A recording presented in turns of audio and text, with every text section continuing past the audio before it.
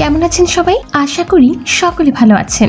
আজকে আমরা এমন একটি দেশ সম্পর্কে আলোচনা করব, যে দেশটি মধ্যরাজ্যের সূর্যের দেশ বা নিশীত সূর্যের দেশ হিসেবে পরিচিত।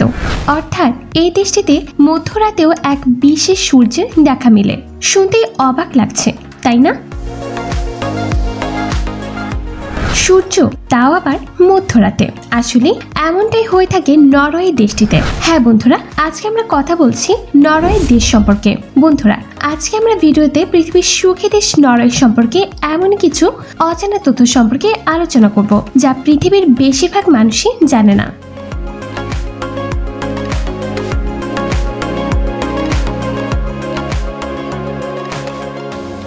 নরওয়ে ইউরোপ মহাদেশের একটি রাজতান্ত্রিক রাষ্ট্র, যার সরকারি নাম কিংডম অফ নরওয়ে নরওয়ের রাজধানী এবং বৃহত্তম শহর হল আসলো।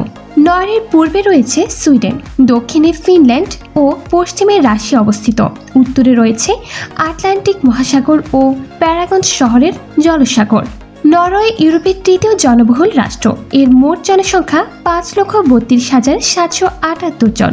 নরওয়ে মোট আয়তন তিন লক্ষ পঁচাশি হাজার দুইশো তিন বর্গ কিলোমিটার পৃথিবীর উত্তর গোলার্ধে অবস্থিত নরওয়েতে প্রতি বছর গ্রীষ্মকালে কিছু অঞ্চলে দুই থেকে চার মাস পর্যন্ত একটানা সূর্যের আলো বিদ্যমান থাকে এবং রাতে অন্ধকারের পরিবর্তে আকাশে গোধূলি আলো ফুটে থাকে। এছাড়া আরও কয়েকটি দেশ যেমন সুইডেন, ফিনল্যান্ড এবং আইসল্যান্ডেও একই ঘটনা দেখতে পাওয়া যায়। কিন্তু নরওয়েতে সূর্যের আলো বেশি সময় ধরে পাওয়া যায়। তাই নরওয়েতে মধ্যরাতের সূর্যের আলোর দেশ হিসেবে পরিচিত। আবার যখন শীতকাল আসে, তখন তো কয়েক মাস সূর্যের আলো দেখতেই পাওয়া যায় না। আর যেটা দেখা যায়, সেটা হলো রাতের আকাশে সূর্যের পরিবর্তে বর্ণিল আলোর খেলা, যা নরওয়ের বর্নিয়ালিস্ট বা নর্দার্ন ওয়েস্টস নামে পরিচিত। প্রতি বছর হাজার হাজার পর্যটক এখানে আসে আশ্চর্য অলোকিত মহাজগতের দৃশ্য দেখার জন্য। এছাড়া এখানকার বেশিরভাগ ইনকাম আসে তেল এবং গ্যাসের খনি থেকে। প্রাকৃতিক সৌন্দর্যের পাশাপাশি নরওয়ে স্যামন মাছের জন্য বিখ্যাত। প্রায় একশোটি দেশে রপ্তানি করা হয় এই সুস্বাদু মাছ। নরওয়েতে আপনি কুকুরকে বেঁধে রাখতে পারবেন না, কারণ এটি একটি অবৈধ কাজ এখানে। এখানকার কোনো ব্যক্তির তার মোট ইনকাম লুকাতে পারে না। কারণ এখানকার ট্যাক্স ডিপার্টমেন্ট এখানকার প্রতিটি মানুষের ইনকাম ওয়েবসাইটে পোস্ট করে দেয়। এখানে ক্রাইমের মাত্রা খুবই কম।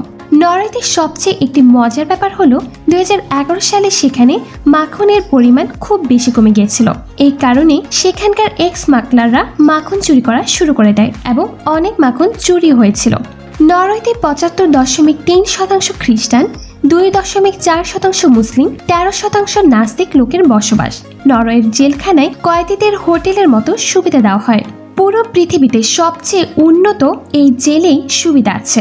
নরওয়েতে পুরুষের মধ্যে দুটি নিয়ম খুবই কমন ওর এবং অ্যাভেল। দুই হাজার সতেরো সালে নরওয়ে প্রথম দেশ ছিল যারা এফ এম রেডিও পুরোপুরি বন্ধ করে দিয়েছিল।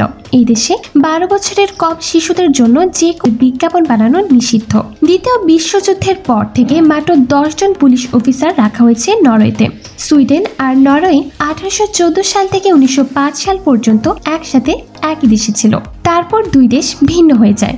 নরওয়েতে যদি কেউ ভালো বই লিখে থাকে, তাহলে সেই দেশের সরকার সেই বইয়ের এক হাজার কপি কিনে নেয়। উনিশশো সত্তর সালের পর থেকে নরওয়ের মহিলারা পুরুষদের মতোই সকল সুযোগ সুবিধা ভোগ করে থাকে। এই দেশে রয়েছে বিশ্বের দীর্ঘতম সুড়ঙ্গ পথ, যা চব্বিশ দশমিক পাঁচ কিলোমিটার দীর্ঘ। বিশ্বজুড়ে নরওয়ে শান্তির দেশ হিসেবে পরিচিত। প্রতি বছর দশই ডিসেম্বর অর্শ বিশ্ববিদ্যালয়ের সিটি হল থেকে নোবেল শান্তি পুরস্কার দেওয়া হয়। নরওয়ের অফিসিয়াল ভাষা হলো নরওয়ে জেনি এখানকার কারেন্সি হলো নরেজিয়ান ক্রোন। এক নরেজেন ক্রোন বাংলাদেশের দশ টাকা সাতাশ পয়সার সমান। এছাড়া উচ্চশিক্ষা আগ্রহীদের জন্য এ দেশ আদর্শ একটি দেশ হিসেবে পরিচিত।